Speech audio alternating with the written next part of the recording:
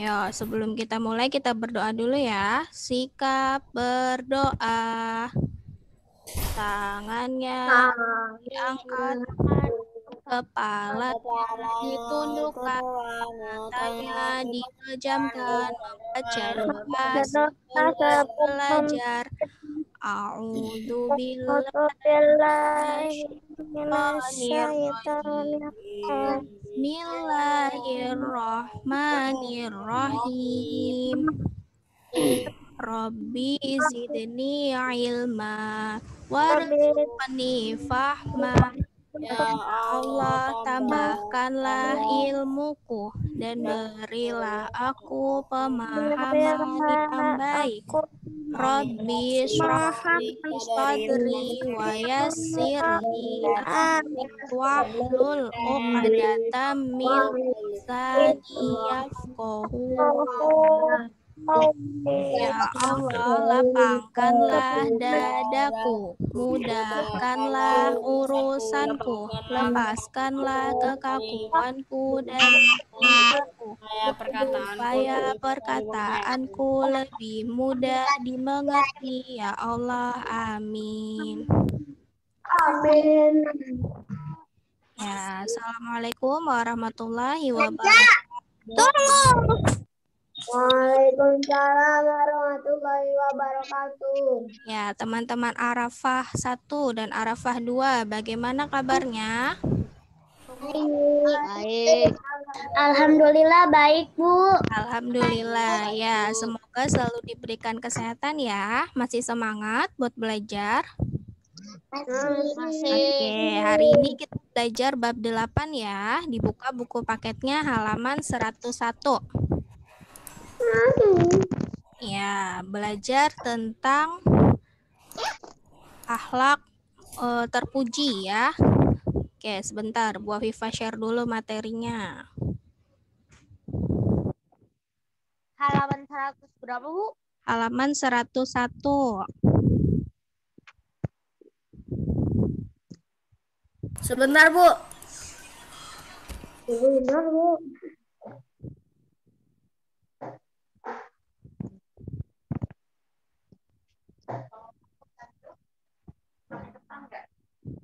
Oke, Ya, oke. Semuanya. Masih panas-panas ya, Mi?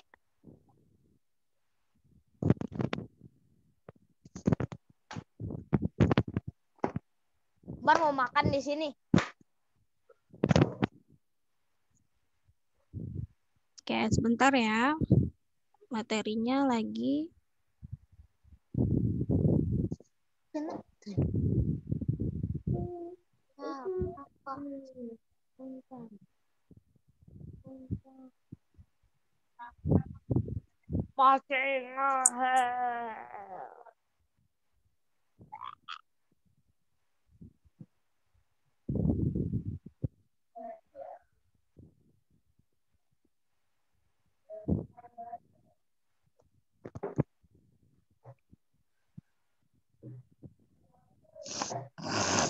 Ya, sebentar. PowerPoint-nya lagi loading.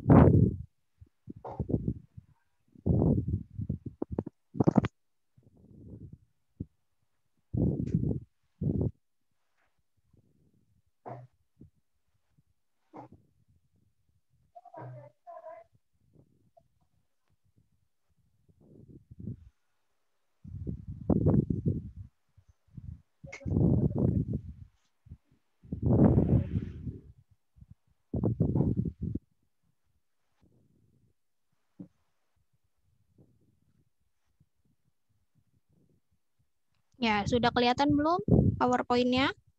Belum. Sudah, sudah, sudah. Ya, sebentar. Belum. Sudah, Bu.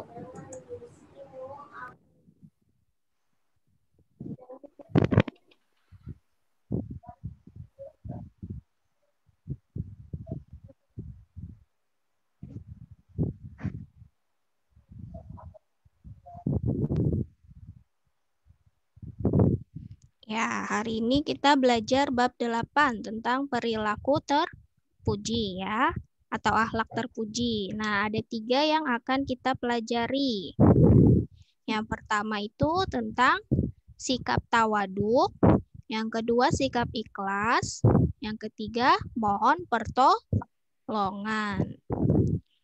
Oke, kita langsung masuk ke sikap yang pertama, tawaduk atau rendah hati.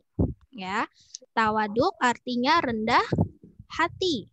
Nah, rendah hati berarti merendahkan hati di hadapan Allah dan di hadapan sesama manusia. Contoh rendah hati di hadapan Allah, kita itu uh, mengakui bahwa uh, manusia itu uh, lemah ya dibandingkan dengan kekuatan Allah. Manusia mempunyai keterbatasan. Nah, kalau kita mengakui diri kita mempunyai keterbatasan, berarti kita mempunyai sikap rendah hati. Nah, tawaduk atau rendah hati merupakan salah satu ciri hamba Allah yang maha pengasih atau disebut ibadur rahman. Nah, ibadur rahman artinya hamba Allah yang maha pengasih. Ya, ada di Al-Qur'an surat Al-Furqan ayat 63 ya.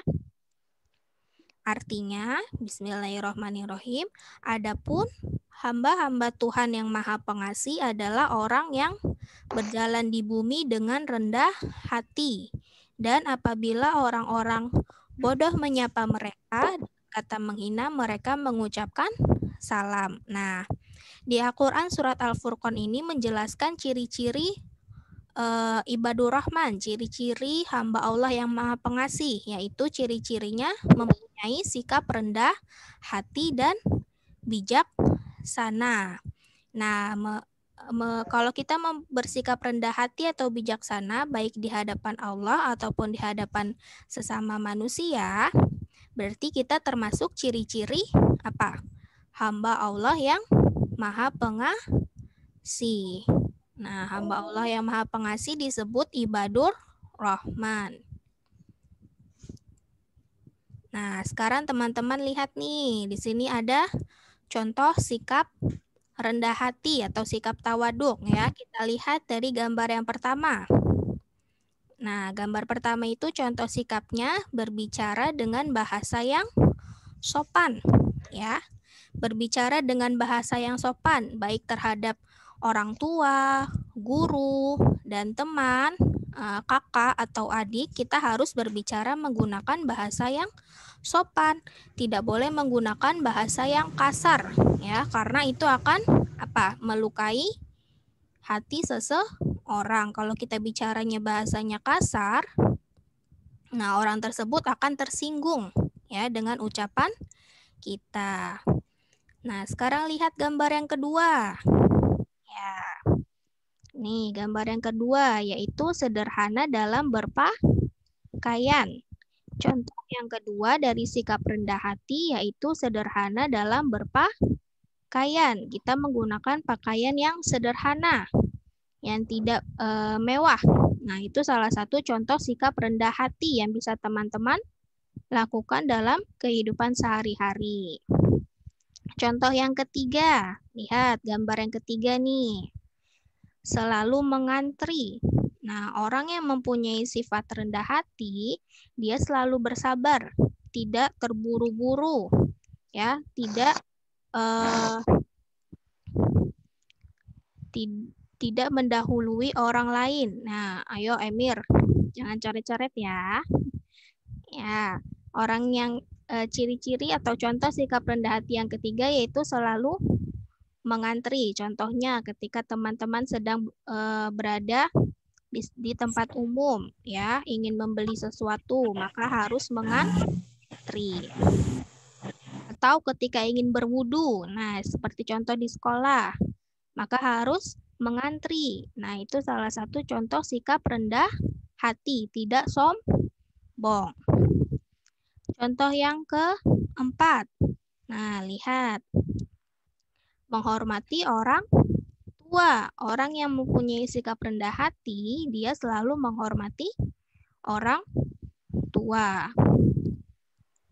baik guru ataupun orang tua di rumah, selalu menghormati. Contoh yang ke lima. Nah, tidak memilih-milih teman. Ya, orang yang rendah hati itu tidak memilih-milih teman, tidak membeda-bedakan teman. Contohnya, berteman dengan siapa saja, ya.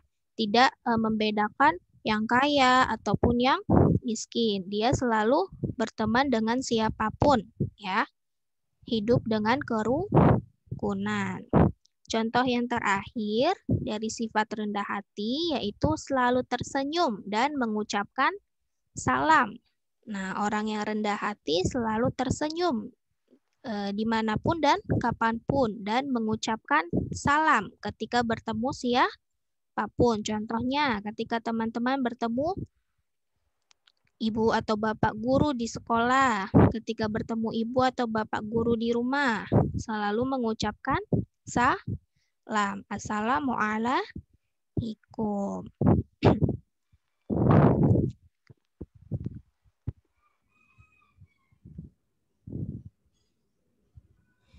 Ya. Lanjut kita ke contoh akhlak terpuji yang kedua ya, yaitu sifat ikhlas. Ya, dilihat halaman 103 sifat ikhlas. Apa sih artinya ikhlas? Nah, ikhlas itu artinya bersih hati atau tulus hati ya. Orang yang ikhlas adalah orang yang uh, selalu beribadah atau beramal hanya mengharapkan ridho Allah, tidak mengharapkan pujian dari siapa pun dari manusia. Nah, itu uh, salah satu ciri orang yang ikhlas. Selalu beribadah ataupun beramal uh, hanya mengharapkan ridho Allah. Nah, orang yang ikhlas itu uh, menjadikan agamanya itu uh, hanya untuk Allah, menyembahnya hanya menyembah kepada Allah, tidak menyekutukan Allah, tidak berbuat ria. Ya, lawannya sifat ikhlas itu apa? Sifat ri ya ingin selalu dipuji. Nah, sifat ikhlas ini juga merupakan salah satu sifat yang uh, sangat baik ya, perbuatan mulia yang dicintai oleh Allah. Ikhlas itu bisa membersihkan uh, semua amal manusia. Seperti yang dijelaskan di Al-Qur'an surat Az-Zumar ayat 11 ya. Qul inni umirtu an a'budallaha mukhlishal lahu ya. Sesungguhnya aku diperintahkan agar menyembah Allah dengan penuh ketaatan. Orang yang, orang yang ikhlas itu beribadahnya penuh dengan ketaatan kepada Allah, hanya mengharapkan ridho Allah, tidak mengharapkan pujian dari manusia. Nah, ini adalah contoh dari perbuatan ikhlas ya. Sikap ikhlas yang bisa teman-teman lakukan dalam kegiatan sehari-hari. Kita lihat gambar pertama. Ya, di gambar pertama itu adanya contoh ikhlas dalam beribadah, melaksanakan sholat, puasa, zakat. Ya, ikhlasnya hanya e, beribadah kepada Allah, mengharapkan ridho Allah, tidak mengharapkan pujian dari orang lain. Contoh e, sikap ikhlas yang kedua. Nah, ini bisa teman-teman lakukan ikhlas dalam mengerjakan tugas. Ya, baik tugas di sekolah ataupun di rumah. Contoh tugas di sekolah ketika diberikan tugas oleh guru. Nah, teman-teman mengerjakannya dengan ikhlas, hati yang ikhlas. Tidak e, mengerjakan dengan terpaksa. Contoh tugas di rumah ketika membantu ibu. Ya, mengerjakannya dengan ikhlas, dengan hati yang senang, tidak terpaksa. Contoh yang ketiga, ikhlas dalam memberikan pertolongan. Ya, contohnya memberi eh, menyantuni anak yatim ketika memberikan infak atau sodakoh, ya teman-teman memberikannya dengan ikhlas, tidak mengharapkan imbalan atau pujian dari orang lain.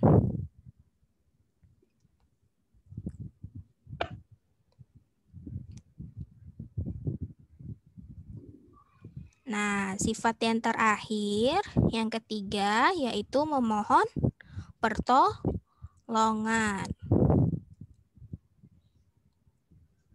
Ya, dibuka halaman berikutnya, halaman 105. Sifat yang ketiga, yaitu memohon pertolongan.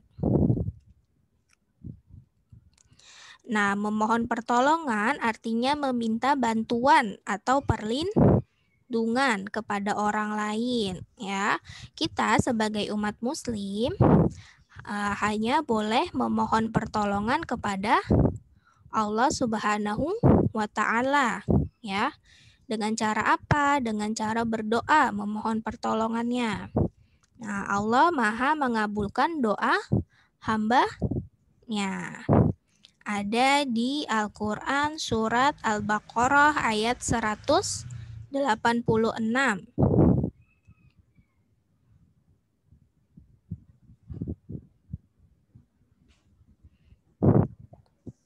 Ya, di situ disebutkan di Al-Quran uh, surat Al-Baqarah ayat 186 dan apabila hamba-hambaku berkat uh, bertanya kepadamu kepadamu Muhammad tentang aku maka sesungguhnya aku dekat.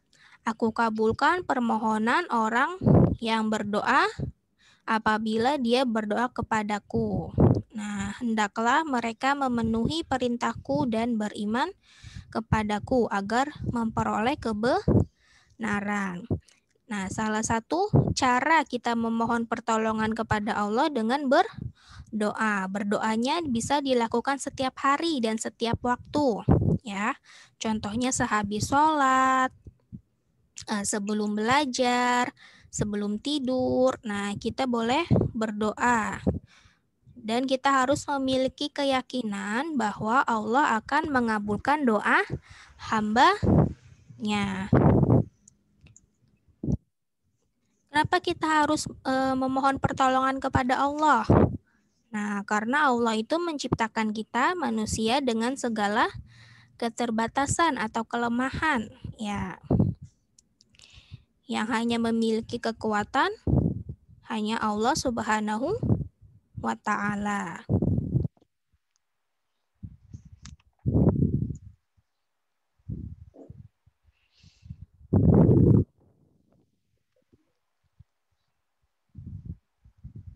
Nah, berikut merupakan contoh dari kegiatan memohon pertolongan.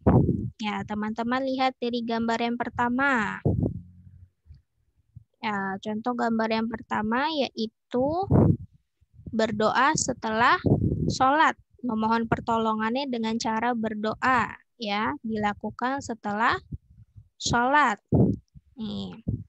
Gambar kedua, berdoa sebelum dan sesudah tidur. Ya, kenapa kita harus berdoa sebelum dan sesudah tidur agar diberikan perlindungan selama kita tidur ya, supaya tidak e, mengalami mimpi buruk atau diganggu oleh setan. Jadi kita harus berdoa sebelum dan sesudah tidur.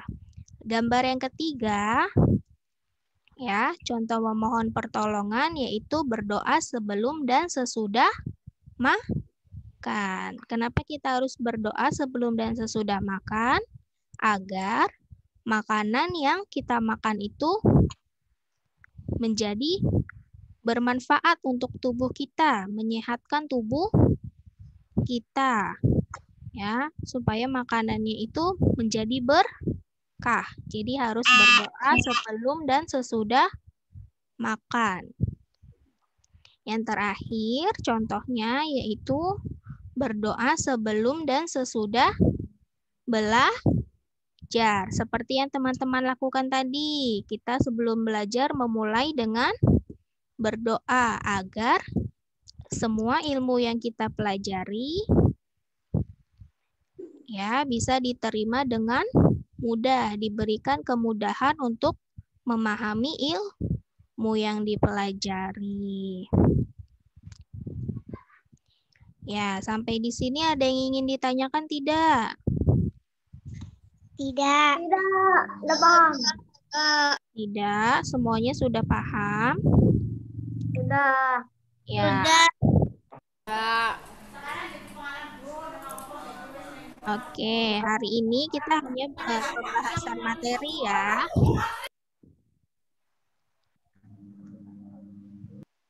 Ya, hari ini Ibu berarti hari ini nggak ngerjain apa-apa gitu. Ya, hari Rabu kalau ada Zoom berarti tidak ada mengerjakan LK, mengerjakannya mengerjakan LK-nya hari Kamis ya. Besok baru mengerjakan LK. Oke. Sekarang Bu Afifah yang tanya, apa yang sudah kita pelajari hari ini? Ayo, kita hari ini belajar tentang apa? pertolongan, mohon pertolongan. Tawaduk. Ya, pertolongan. ya. Mohon pertolongan. Hari ini kita belajar tentang perilaku atau akhlak terpuji ya. tentang eh, sikap tawaduk, ikhlas dan memohon pertolongan. Ya, tawaduk artinya rendah Hati. ya. Rendah hati. Ya, ada di Al-Qur'an surat rendah hati. Al-Furqan ayat 60 Al-Furqan. Ya. Nah, rendah hati merupakan ciri-ciri dari hamba Allah yang maha pengasih atau disebut ibadur rahman. Nah, contoh dari sikap rendah hati. Yang pertama, berbicara dengan bahasa yang sopan. Yang kedua, sederhana dalam berpakaian. Yang ketiga, selalu mengantri. Yang keempat, menghormati orang tua. Yang kelima, tidak memilih-milih teman.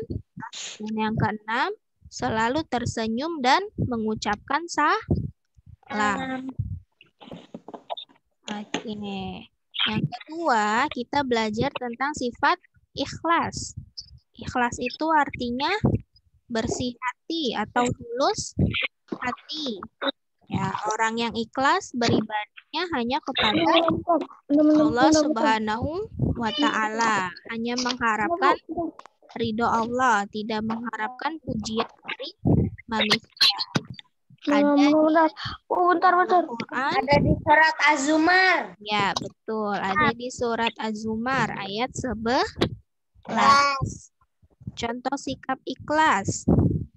Ya, ikhlas dalam beribadah, ikhlas dalam mengerjakan tugas, ikhlas dalam memberikan pertolongan. Yang terakhir yaitu kita belajar memohon pertolongan.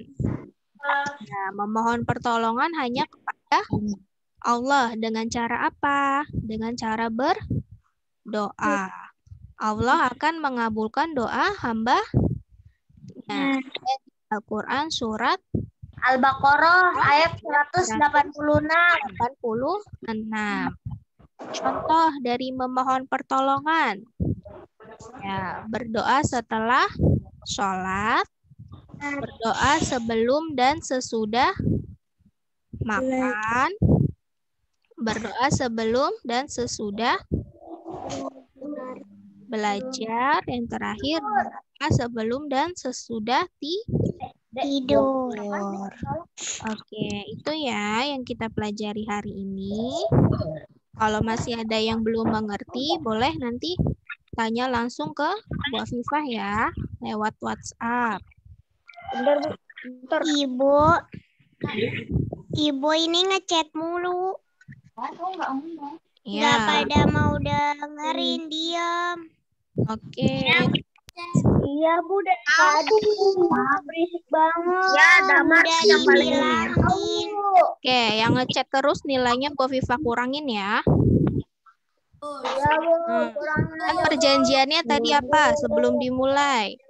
lama dijelaskan. Udah dikasih tahu sama Sita sama Nabila tapi nggak didengerin. Ya, berarti yang tidak mendengarkan. Oke, berarti untuk minggu depan kalau Zoom lagi yang masih ngechat, yang masih coret-coret, nanti gantian eh, dia yang suruh ngejelasin materinya, oke? Perjanjiannya ya. Oke. Ya, yang masih nyoret-nyoret, yang ketik-ketik di chat nih Damar berarti minggu depan nanti yang menjelaskan materi. Damar barusan da- Damar barusan eh, nyoret-nyoret. Mm-mm. Udah buat Viva catat ya, yang nyoret-nyoret, yang kirim-kirim eh, ketik-ketik sesuatu di kolom chat. Nanti untuk pertemuan selanjutnya saat Zoom, dia yang menjelaskan. Jelaskan. Iya, kan kita sudah perjanjian di awal. Ketika materi, matikan mikrofon dan tidak mengetik di kolom komentar. Ya, oke. Sampai di sini dulu ya. Penjelasannya untuk bab 8 insya Allah akan dilanjutkan di pertemuan berikutnya. Ya, untuk hari ini hanya menjelaskan materi, ya, tidak ada latihan LK. Besok baru mengerjakan. Jadi besok kan ngerjainnya, Bu. Ya, besok mengerjakan LK-nya. Hari ini hanya menjelaskan Tapi materi. Bu besok nge-zoom. Ibu besok nge-zoom nggak? Enggak, Zoom-nya hanya di hari Rabu ya. Dan ada jadwalnya dua minggu sekali. Karena kan gantian dengan kelas yang lain. Ya, Oke. ya jadi saat Zoom itu kita hanya ada waktu 30 eh, menit. Nah, jadi selama 30 menit ini teman-teman memperhatikan materi yang disampaikan. Kalau ada kalau ada yang tidak dipahami, boleh bertanya. Tanya. Sampai di sini. Terakhir, sebelum ditutup, ada yang ingin ditanyakan tidak? Tidak. Ya, Tidak. oke. Sudah mengerti semuanya ya? Udah 20 udah 28 menit, Bu. Langsung doa. Oke, iya. Karena waktunya sudah habis, ya. Sebelum kita akhiri, alangkah baiknya kita mengucapkan hamdalah. Alhamdulillahirabbil alamin. Ya, kita istighfar tiga kali. Astagfirullah. Astagfirullahaladzim. Ya, de-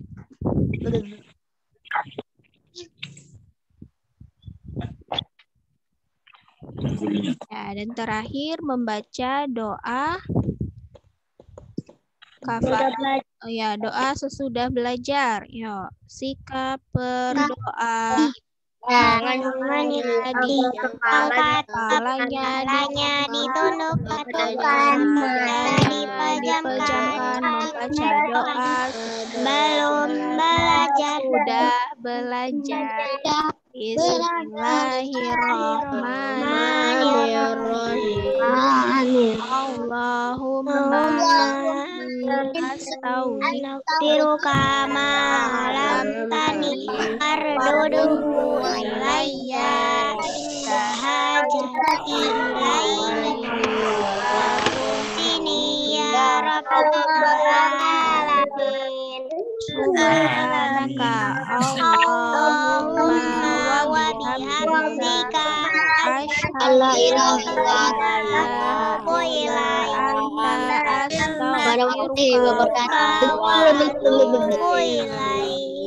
Assalamualaikum warahmatullahi wabarakatuh. Ya, Waalaikumsalam warahmatullahi wabarakatuh. Assalamualaikum, Bu. Terima kasih.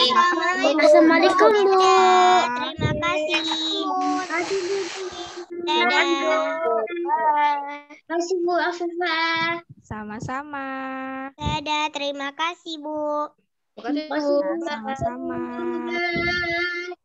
Waalaikumsalam. Waalaikumsalam.